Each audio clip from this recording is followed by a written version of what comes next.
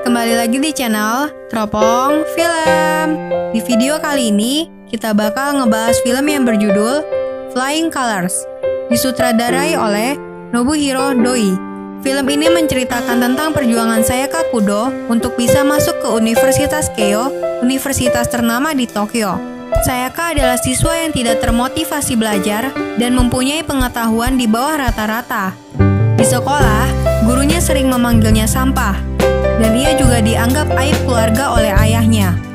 Biar nggak penasaran, langsung aja yuk, simak videonya. Let's go!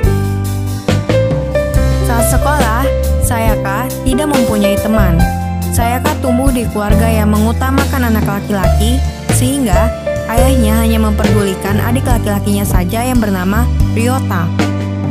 Sayaka dan adik perempuannya bernama Mayumi dibesarkan sepenuhnya oleh sang ibu yang selalu ada untuknya.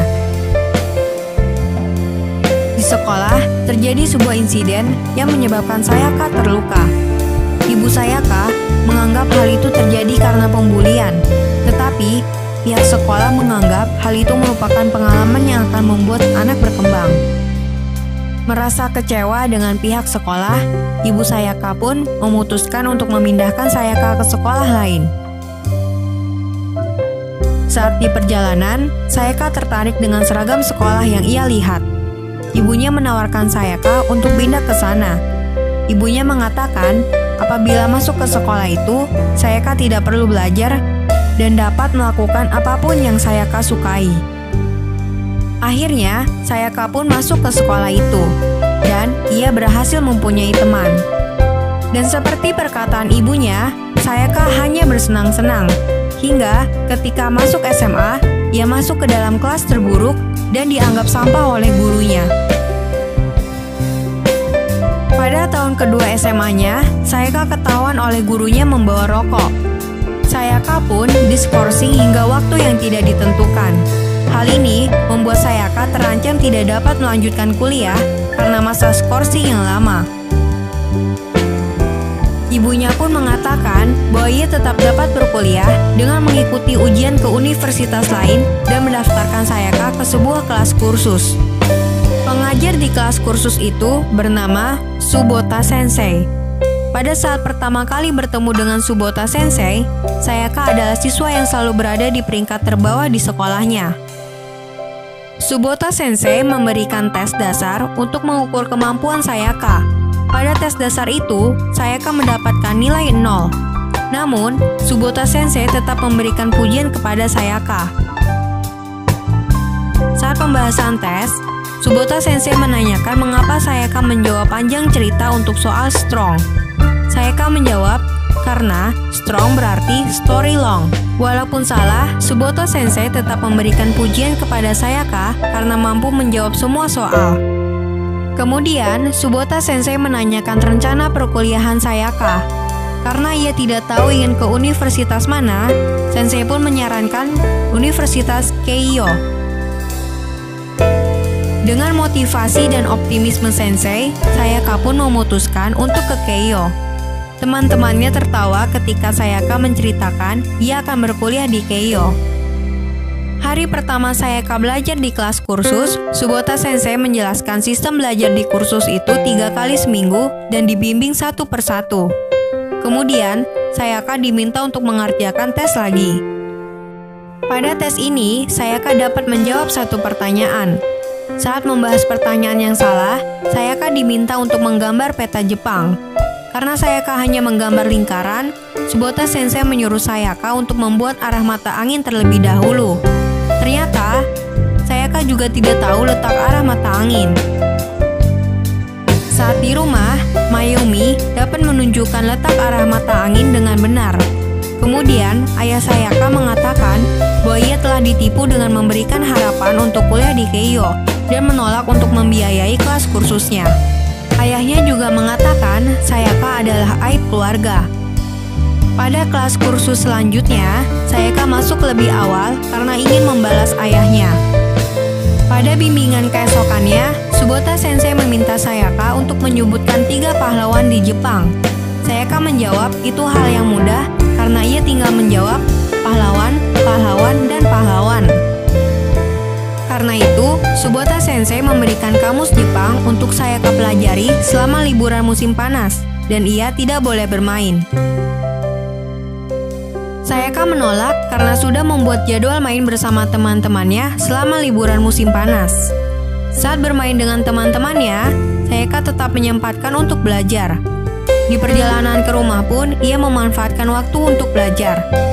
Akhirnya, Sayaka menunjukkan kemajuan. Ia berhasil menjawab semua pertanyaan dengan benar. Kemudian, Subota Sensei menceritakan ia termasuk pelajar yang malas dan tidak mempunyai motivasi belajar. Bahkan, gurunya mengatakan ia lebih baik mati daripada bermalas-malasan. Karena itu, Subota Sensei merasa tertarik menjadi guru tutor untuk siswa-siswa yang kesusahan mengikuti pembelajaran di sekolah dan mengajari dengan metode yang dibutuhkan tiap siswa hingga menggali potensi yang dimiliki.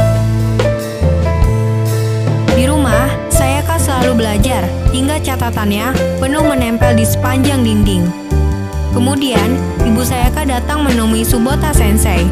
Sensei mengatakan bahwa kemampuan belajar Sayaka sangatlah baik, tetapi sudah agak terlambat untuk Sayaka mengejar keterlambatannya, sehingga sedikit mustahil bagi Sayaka untuk lulus ke Keio. Karena itu, Ibu Sayaka memutuskan untuk menambah jadwal belajar hingga enam kali pertemuan dalam seminggu. Ibunya meminta izin kepada Mayumi untuk menggunakan biaya pendidikannya untuk membayar uang kursus Sayaka. Ibunya juga akan bekerja hingga malam sehingga tidak bisa menjaga Mayumi. Ternyata, Sayaka mendengar obrolan mereka. Kesokannya di tempat les, Sayaka menanyakan biaya kursusnya. Sensei menceritakan, ibu Sayaka tidak masalah dengan hasilnya karena Sayaka terlihat bahagia sejak ikut kelas tutor. Ketika Sayaka ingin pulang setelah bermain, teman-temannya mengajak mengobrol sebentar. Teman-teman Sayaka mengatakan bahwa mereka tidak mau bermain dengan Sayaka lagi, karena mereka ingin Sayaka untuk fokus belajar dahulu dan ingin Sayaka lulus ke Keio. Setelah ujian selesai, mereka akan main bersama lagi. Saat sedang belajar, Sayaka meminta izin untuk keluar sebentar. Sensei menyusul Sayaka karena ia tidak kembali ke kelas. Sayaka merasa ingin berhenti belajar. Sensei pun menunjukkan bahwa telur yang dinamai Clara dan berbentuk bulat ini bisa berdiri. Kemudian, Sensei menambahkan, di mana ada kemauan, di situ pasti ada jalan. Berkat bantuan motivasi dari Sensei, Sayaka pun kembali belajar. Sayaka meminta bantuan teman-temannya untuk memotong pendek rambutnya agar mengurangi rasa ingin bermain. Sayaka semakin giat belajar hingga sering ketiduran di sekolah. Hari ujian simulasi pertama ke Keio pun tiba. Hasil ujian pertama tidak begitu baik.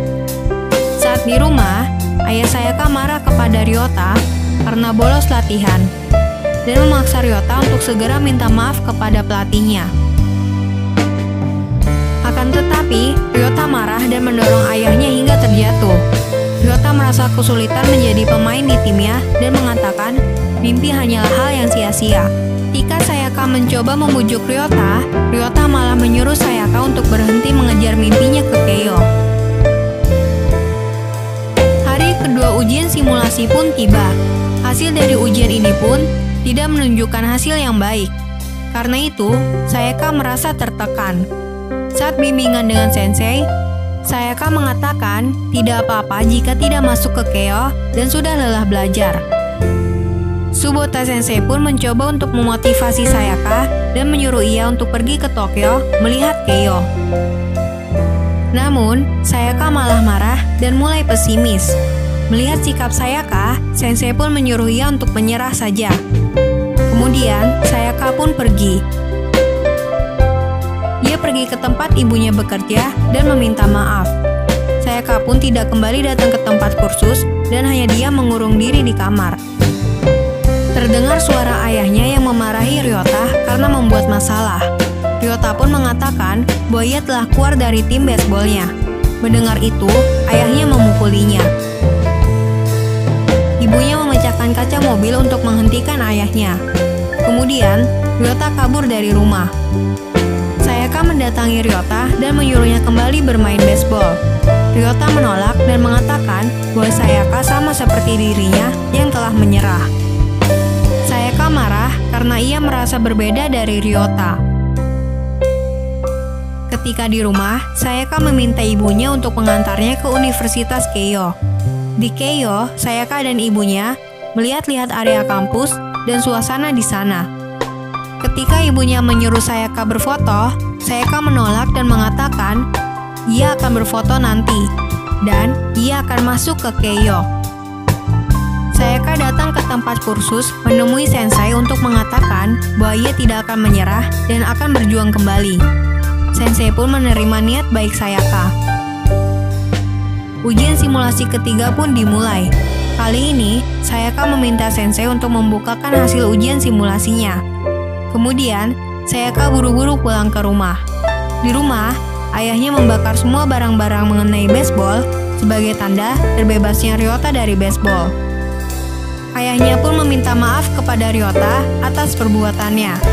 Kemudian, Sayaka menunjukkan hasil simulasi ketiganya kepada Ryota. Dari hasil ujian kali ini, tingkat kelulusan Sayaka ke Keo sebesar 50%. Ayahnya tidak menyangka dengan hasil ujian Sayaka. Sayaka mengatakan kepada Ryota untuk menemukan dan mewujudkan mimpinya. Subota Sensei mengarahkan Sayaka untuk masuk ke jurusan sastra dan jurusan politik Keio. Masih ada sisa dua bulan hingga ujian yang sesungguhnya. Saya kaput, giat belajar. Akhirnya, ujian ke Universitas Keio pun tiba. Sayangnya, di hari itu, salju turun lebat hingga bus tidak dapat beroperasi. Untungnya, ayahnya berinisiatif mengantar Sayaka. Di perjalanan, ayahnya mengakui bahwa ia telah salah dan Sayaka merupakan harapan keluarga. Ketika sampai di tempat ujian, ayahnya pun menyemangatinya. Ujian pertama pun dimulai. Saat membuka hasil ujian, Seika berhasil lolos tahap pertama. Ia pun memberitahu kabar baik ini ke Sensei. Di hari terakhirnya belajar, Sayaka memberikan Sensei sebuah surat. Sensei pun membalas dengan memberikan Sayaka sebuah kopi. Hari ujian selanjutnya pun tiba. Sebelum ujian, ia meminum kopi yang diberikan oleh sensei. Ketika sedang mengerjakan ujian, Sayaka sakit perut hingga bolak-balik ke kamar mandi. Tahap ujian selanjutnya adalah menulis esai untuk jurusan politik. Akhirnya, hari pengumuman seleksi jurusan sastra pun tiba. Sayangnya, Sayaka tidak lolos dan mengabari sensei. Sensei pun tetap menyuruh Sayaka untuk menunggu pengumuman jurusan politik Keio. Sayaka meminta maaf kepada ibunya karena telah gagal. Untuk mengisi waktu, Sayaka pergi bermain bersama teman-temannya. Hingga akhirnya, hari penentuan pun tiba. Dengan ragu, Sayaka membuka laman pengumuman. Setelah melihat hasilnya, dia menemui ibunya dan menangis. Kemudian, dia buru-buru pergi ke tempat kursusnya. Ketika sampai, Sayaka memberitahukan bahwa ia telah diterima masuk ke Keio. Mereka semua pun menangis terharu. Ibu Sayaka pun memberitahukan kabar ini kepada ayah Sayaka. Sayaka mendapatkan surat dari Sensei dan membacanya. Di dalam surat, Sensei mengatakan agar Sayaka tetap percaya diri dan berani menggapai mimpinya. Sebelum berangkat, Sayaka berlari ke arah ayahnya, dan ia pun digendong ayahnya seperti saat ia masih kecil. Di akhir surat, Sensei mengatakan bahwa dengan semangat dan kerja kerasnya, saya kalah yang mengubah hidupnya. Dan kisahnya pun akan mengubah hidup banyak orang. Saat di kereta, saya akan melihat Sensei yang melambaikan salam perpisahan. Terima kasih telah menonton video ini. Jangan lupa like videonya. Sampai bertemu di video selanjutnya.